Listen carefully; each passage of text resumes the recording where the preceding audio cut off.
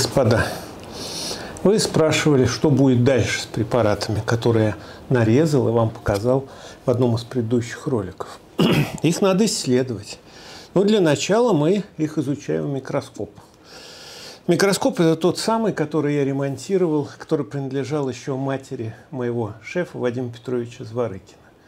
Прошло много лет, но для работы он все так же пригоден, особенно для общего просмотра препаратов. Конечно, потом у нас есть очень современные, совершенные микроскопы, но я предпочитаю смотреть в такой антиквариат не из-за пижонства, а из-за того, что я ближе нахожусь к материалу, слишком здесь поменьше стекляшек между мной и объектом. Мне как-то кажется, что это лучше. Вполне возможно, что это старческая иллюзия. Я просматриваю сначала препараты. Это достаточно интересные и приятные во всех отношениях занятия, потому что препараты, как вы видите, они очень красивые.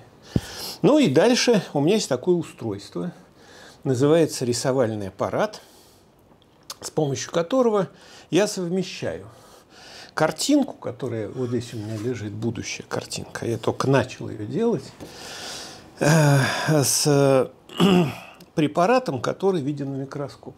Это очень старинное изобретение, созданное еще самим Аббе, то есть сейсовским инженером, для того, чтобы работать с микроскопическими препаратами. Надо смотреть в данном случае правым глазом, потому что иначе будет мешаться нос, поскольку в зеркале изображение бумаги передается на общий э, окуляр – и через полупрозрачное зеркало я одновременно вижу и объект микроскопический, и свой кончик карандаша, которым рисую изображение. Собственно говоря, этим и начинаю заниматься. Потихонечку карандашком я отрисовываю объекты. Можно, конечно, сфотографировать, но, например, мне в данном случае нужна э, совокупная картинка со многих препаратов для статьи. Как раз того самого спинного мозга гекконов, о котором я до этого резал на микротоме. Я начинаю рисовать, и пройдет немного времени, то есть часа 3-4, и появится картинка, которая мне нужна для пояснения э, моих э, фотографий и э, микротомографических снимков в статье. То есть процесс начался и будет продолжаться несколько часов. Ну и потом, ближе к концу, мы с вами увидим результат. Промежуточные фазы рисования довольно сложны, поскольку сначала я рисую все карандашиком, потом отрабатываю детали тушью и пером, а уж в самом конце использую или цветные специальные фломастеры с кистевые, или уже карандаши. Мне кажется, что от этого рисунки только выигрывают. Время идет, и я уже близок к завершению. Картинка почти готова. Это длинное муторное дело, поскольку приходится не только отрисовать картинку, но и потом ее окрасить в соответствующие цвета. Ну, чтобы читателям потом статьи журнальной было понятно, о чем идет речь. Причем, поскольку я суммирую эту картинку из множества изображений, Получается достаточно неплохо. То есть фотографически сделать это довольно сложно, а зачастую почти невозможно, когда дело касается нервной системы. Поэтому обобщающие рисунки приходится делать вот таким антикварным способом. С помощью рисовального аппарата, старинного микроскопа, ну и наклонного столика, который я сделал для того, чтобы было бы удобнее рисовать, ну, под углом. Уважаемые любители моих роликов и читатели моих книг, Сегодняшний наш небольшой сюжет начинается прекрасно исполненным маршем Кирилла Прокопова, который, собственно говоря, говорит об очень важном, о том, что действительно сортинг начинает свое победное шествие. В чем дело? Дело в том, что длинное вступление очередное про то, как я рисую мозги гекконов, ну в данном случае спинной мозг, нужно для одной очень важной вещи. Дело в том, что именно на этой модели, именно поэтому она фигурирует уже в нескольких роликах, собственно говоря, отрабатывается та технология, которая нужна для машины церебрального сортинга. То есть той самой машины, которая нужна для того, чтобы прижизненно определять способности людей. Напомню, о чем идет речь. Речь идет об очень простых вещах. У нас существует одна хроническая проблема, которая погубила, собственно говоря, коммунистическую идею, та, которая лежала в основе ошибки Карла Маркса и Фридриха Энгельса, та, которая не позволила построить нам реальный коммунизм в этой стране. Мы не знаем, что думают люди на самом деле. И мы не знаем их прижизненной способности. Никакая психология, никакие индексы IQ, никакие когнитомы и прочие ахинеи, которые забивают вам голову, включая психоанализ и остальные эти ужимки и порошки, которые годятся для сексуальных проблем некоторых иммигрантов, но никак не годятся и никуда не годятся для анализа прижизненных способностей. Прижизненные способности являются одной из ключевых тайн человечества.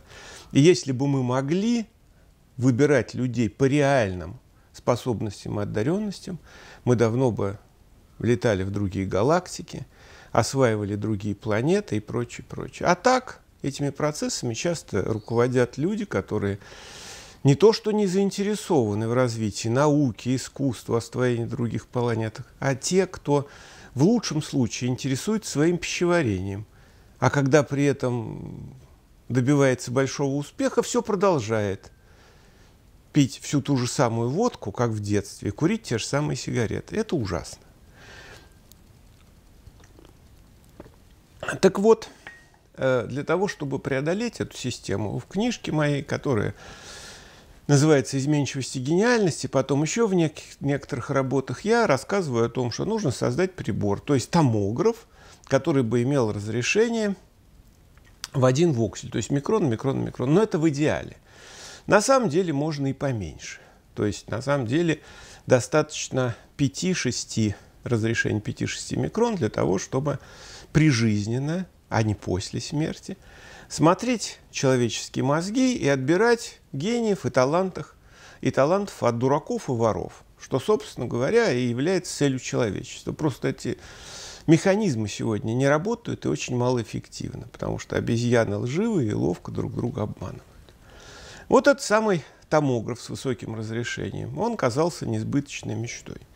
И вот в этом маленьком ролике я как раз хочу рассказать о том, что мы получили результат, с помощью которого мы видим разрешение, необходимое для проведения такого искусственного сортинга. То есть вот перед вами прошла картина, как я готовил препараты. Я специально использовал оборудование не самое свежее, не самое новое, чтобы было понятно – что никакие сложные компьютерные системы здесь не нужны, хотя они потом понадобятся. Но смысл такой, что мы сравнили имеющиеся у нас с коллегами технологии, получили, соответственно, изображение с целого образца того самого спинного мозга, который на ваших глазах резал и потом зарисовывал.